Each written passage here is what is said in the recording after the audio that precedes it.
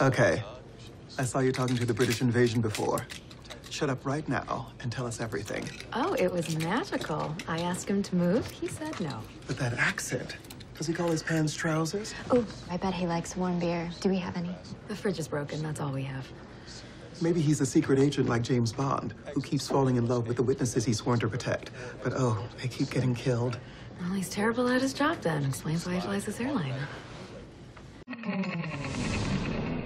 Airlines, northeast